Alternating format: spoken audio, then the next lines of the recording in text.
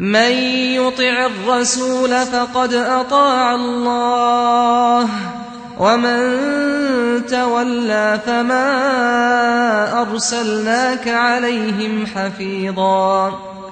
ويقولون طاعة فإذا برزوا من عندك بيت طائفة منهم غير الذي تقول.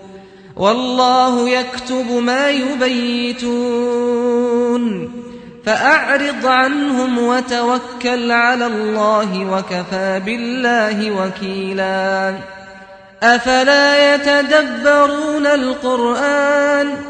ولو كان من عند غير الله لوجدوا فيه اختلافا كثيرا. وإذا جاءهم أمر من الأمن أو الخوف أذاعوا به. ولو ردوه إلى الرسول وإلى أولي الأمر منهم لعلمه الذين يستنبطونه منهم.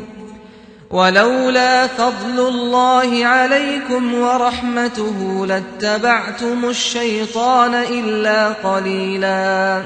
فقاتل في سبيل الله لا تكلف إلا نفسك وحرض المؤمنين. عسى الله أن يكف بأس الذين كفروا.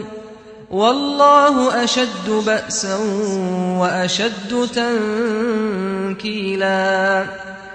من يشفع شفاعة حسنة يكن له نصيب منها.